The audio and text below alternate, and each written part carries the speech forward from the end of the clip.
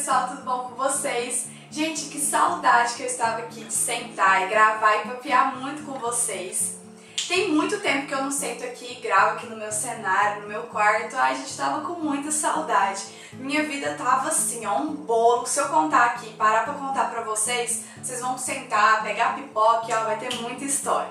Então, gente, todo mundo sabe que eu me casei, né? Teve várias sagas de casamento, de noivado aqui no canal. Só que eu sumi, né, após o meu casamento, que foi em fevereiro, dia 11, dia mais lindo da minha vida. E aí eu fiz a lua de mel e eu gravei vários vlogs na lua de mel, que eu fui pra Disney e pra Miami. Vocês puderam acompanhar alguns vlogs que eu já liberei. Ainda tem vários vlogs que eu estou editando e estou postando, né, com frequência. Então, direto eu tô postando algum vlog da Disney ou se não de algum lugar que eu conheci dentro de Orlando, alguma loja igual a Dollar Tree, que eu já postei aqui o um vídeo no canal. Então, se você ainda não conferiu, confere que está super legal os vídeos da lua de mel. Só que eu dei uma sumida de sentar aqui e papear com vocês, né? Porque aí, gente, vem em casa pra arrumar, eu arrumei um serviço, tem faculdade e muitas outras coisas, né, por trás. Mas eu prometo que eu quero com frequência sentar e gravar vários vídeos de temas que vocês gostam como por exemplo casamento. Então muitas pessoas comentaram em alguns vídeos falando, nossa Bruna, você sumiu, você não contou mais nada sobre o casamento e tudo mais. Então eu resolvi fazer o seguinte, gente, eu resolvi sentar e conversar so sobre o casamento mesmo com vocês, só que como vai ficar muito extenso, né, porque, gente, tem muito assunto que eu queria falar com vocês, eu resolvi dividir. E esse em específico eu vou falar de um assunto que é muito comentado né, em casamento, que são as fotografias, gente. Como eu sou a louca da fotografia, eu falei, nada melhor do que começar esse assunto, né, sobre casamento com o tema que eu mais gosto, que é fotografia. Bom, gente, então sentei que tem muito que a gente falar. Gente, fotografia, eu acho que vale muito a pena investir um dinheiro maior, né, nesse item. Por quê? Né? Você vai falar assim, nossa, Bruna, mas eu não tenho muita grana para gastar. Não, gente, o que, que eu acho? Eu acho que a fotografia é uma das prioridades que a gente tem no casamento, igual a comida e a bebida, né? Porque você não pode chegar num casamento e não servir uma comida de qualidade, uma bebida de qualidade. Então, assim, fotografia, gente, é o item que vai ficar né, na recordação. É o que vai realmente ficar na lembrança depois que tudo passar, porque a festa passa muito rápido. São cerca de 5 horas de festa e o que vai ficar na lembrança são realmente o trabalho né, dos fotógrafos, a filmagem. Então, por isso que eu acho que vale muito a pena investir, porque você vai poder relembrar aquele momento, né, tudo de novo e viver tudo de novo com seus familiares, com seu marido. Então, assim, muita gente opta por fazer as fotos e não fazer a filmagem. Outro item que eu também queria ressaltar, eu fiz os dois. Então, eu contratei a fotógrafa e também contratei a filmagem que é uma equipe que é junto com a fotografia, entendeu? É basicamente a mesma empresa, só que são equipes diferentes, a que faz a fotografia e a que faz a filmagem. E, gente, eu peguei o meu vídeo, eu estou impressionada com a qualidade do vídeo. Então, assim, se você está em dúvida de fazer foto ou de fazer filmagem, se você não tiver uma grana, faz somente as fotos. Mas se você tiver uma graninha sobrando, gente, compensa muito fazer os dois. A filmagem, você vai relembrar tudo aquilo mesmo. Tipo, é como se você estivesse vivendo aquilo. Você põe no DVD, você põe no seu computador e realmente passa toda aquela passagem. Igual eu casei na igreja, tem as falas do padre, gente, todinha. Então, coisas que talvez no calor da emoção você não captou bem, você na hora que você assiste o vídeo, você lembra de tudo, você vê tudo, é muito emocionante. Bom, gente, a equipe que fez as nossas fotos é aqui de Tuiutaba mesmo. A empresa chama Antônio Risa, né? Antônio Risa é um moço que é um fotógrafo muito famoso aqui dentro de Tuiutaba e ele também está fazendo vários trabalhos legais para fora. Inclusive, ele já tem também uma empresa montada em Uberlândia, né? Que é uma cidade aqui próxima de Tuiutaba. E lá funciona da seguinte forma: tem o Antônio Risa, que fotografa, né? E também tem a Raquel Risa, que é a esposa dele. Eu vou colocar o Instagram deles passando aqui para vocês verem o trabalho que é surreal de lindo, é muito legal o trabalho deles.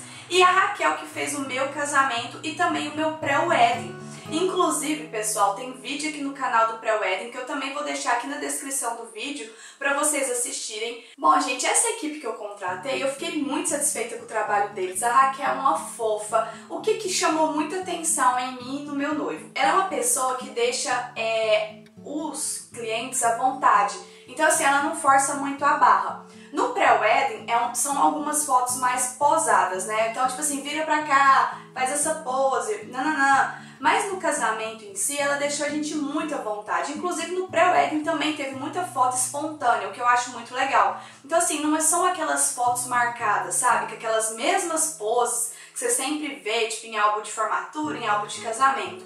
Então eu achei que eles são muito qualificados quanto a isso, eles têm muita paciência, né? Porque, tipo assim, o meu noivo, ele não gosta muito de foto, né? Ele sabe que é um momento especial, que tem que registrar, mas é uma pessoa que não tem tanta intimidade com a câmera, né? Não é igual eu, porque eu adoro me fotografar, adoro fotos. Então ela tem todo aquele cuidado, sabe? Ela sabe lidar com todo tipo de cliente. Ela é muito calma, ela passa uma leveza, sabe? E a gente não fica tímido na frente dela. Então, assim, é uma profissional excelente. O Antônio Risa também, que é o marido dela. Eu só tenho que elogiar o trabalho deles, porque foi muito, muito legal mesmo, gente. Então, no decorrer do vídeo, eu vou deixar passando algumas fotos do meu pré-wedding e depois do casamento, para vocês darem uma olhada, para vocês verem realmente como é o serviço deles. Bom, pessoal, no casamento a gente fez fotos muito lindas com a Raquel. Então, assim, ela tira fotos de momentos. Quando eu sentei para contratar ela, né, para fazer todo o contrato do casamento, eu tava muito em dúvida, porque realmente era um investimento um pouco mais alto do que eu esperava. Mas ela me alertou, ela conversou comigo e ela falou: Olha, Bruna, é, nós aqui do Antônio Risa, né? a gente tem é, o objetivo de fotografar momentos, né? Então não são aquelas fotos casuais que você vai ver em vários álbuns, né? Um olhar que você dá pro seu marido na hora do altar, na hora do sim, ou se não até mesmo os pezinhos, gente, da daminha, sabe, pendurado assim na cadeira. Vou deixar também passando essa foto que eu achei muito linda. Então vale a pena o investimento, porque ela capta mesmo só aqueles momentos, ela deixa a gente bem à vontade, não fica aquela coisa cansativa. Porque muita gente também falou pra mim assim, Bruna, o casamento você não aproveita. Porque primeiro você tem que sair cumprimentando os outros, segundo que você só fica tirando foto. E gente, não foi assim no meu casamento, graças a Deus. Nós ficamos na pista de dança das 11h30 até 5 horas da manhã. Ou seja, a Raquel liberou a gente, era 11h30 da noite já. E aí na pista de dança ela começou a tirar foto nossa, entendeu? Então aquelas fotos posadas mesmo, que é que chama os padrinhos, que chama os avós, os pais para tirar na mesa do bolo, foi em cerca de 20 minutos, gente. Então isso também me chamou muita atenção nela. Uma profissional muito ágil, sabe? Ela preocupa também na questão da pessoa não perder a festa, sabe? Do casamento dela. Então foi muito legal isso. E antes da gente ir pra festa, a gente só ficou meia hora também na porta da igreja fazendo fotos, que eu vou deixar passando aqui também, que ficou linda, gente, ficou maravilhosa as fotos. A gente fez em frente, né, a igreja que a gente casou, que é a matriz de São José, e tem um espaço ali com uma praça. Não, gente, ficou a coisa mais linda. Vocês vão poder acompanhar aqui em algum lugar do vídeo que eu vou colocar as fotos. Inclusive, já escolhi, gente, que é uma etapa muito difícil, muito difícil mesmo a gente escolheu 130 fotos, né? E a Raquel me alertou que quanto menos foto, melhor, gente, porque senão fica um álbum muito poluído, certo? Porque aí tem algumas páginas que ela tem que colocar mais de uma foto. Depois que a gente escolhe as fotos, a Raquel ela vai montar todo o layout, como que vai ficar, né, o álbum. A capa que ela escolheu, né, qual foto que vai ficar inteiriça, porque, por exemplo, eu acho que vale muito a pena colocar uma foto inteiriça dos pais, né, com os noivos. Aquelas fotos dos padrinhos pode jogar tipo três fotos junto, entendeu? Então, após você escolher as fotos, ela vai montar o layout e vai te mandar para você aprovar, né? Acho que é dentro de 40 dias, se eu não me engano, que, a, que ela me explicou. Então, assim, eu tô aguardando ela me mandar o layout e assim que ela me mandar, eu aprovando, ela já confecciona o meu álbum de casamento. Bom, gente, então, eu fiquei muito satisfeita com o trabalho da Raquel, eu tô muito feliz, eu tô louca pra chegar logo o álbum, né, pra eu poder mostrar aqui pra todo mundo, pros familiares. É, eu vou deixar ainda passando algumas fotos no decorrer do vídeo, até no final, se vocês quiserem, eu posso montar um vídeo de slides, né, pra vocês verem é, as fotos que eu escolhi pro álbum, né, tem várias fotos, gente, vocês vão ficar loucas, piradas, são muitas fotos lindas. Tem do pré-wedding também, então se você também não assistiu o vídeo do pré-wedding, corre aqui na descrição do vídeo, clica nele que tá muito legal. A Raquel que fez também.